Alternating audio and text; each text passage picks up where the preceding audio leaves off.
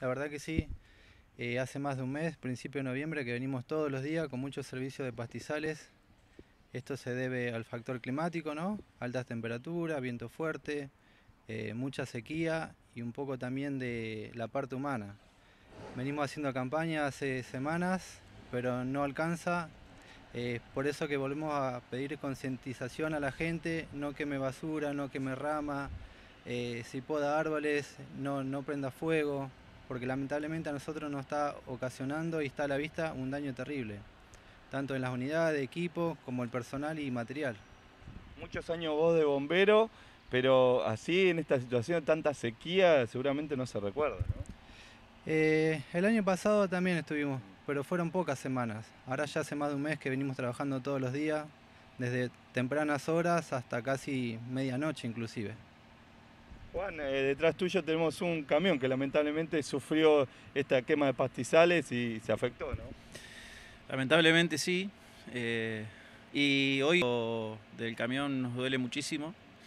Nos pone muy mal porque es nuestra... Y poder salir a, a combatir los incendios. Día a día el camión funciona desde la mañana temprano hasta el final del día, como decía Martín.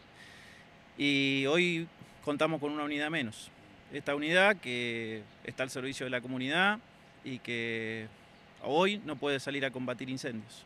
Lamentablemente eh, necesitamos que la gente tome conciencia en el mínimo, en el mínimo detalle, si prende un fuego, que lo controle, que esté al lado, que lo apague cuando se fue, que, no quede nada de ceniza, así haya comido un asado. Evitemos, por favor, los fuegos porque se descontrolan, el viento, el calor, la sequía favorece a que se sigan incrementando y se, fuera- se vayan de control y lamentablemente terminamos de esta manera, ¿no? En cuanto al camión, ustedes le dan un cariño especial, ¿no? Siempre los tienen muy cuidados, lavados, preparados siempre para la ocasión. Eh, el servicio no termina hasta que la unidad no queda operativa de vuelta. Así que arrancamos arriba del camión y terminamos dejándolo en condiciones para que sea, quede operativo nuevamente. Entonces, el mantenimiento que tienen los vehículos y las horas que los bomberos le dedican internamente al trabajo es incalculable. O sea, muchas, muchas horas de las que no se ven los bomberos en la calle están haciendo mantenimiento dentro de la institución. En cuanto al camión, ¿qué modelo es? Y un camión que los acompañó siempre, ¿no? En todo incendio.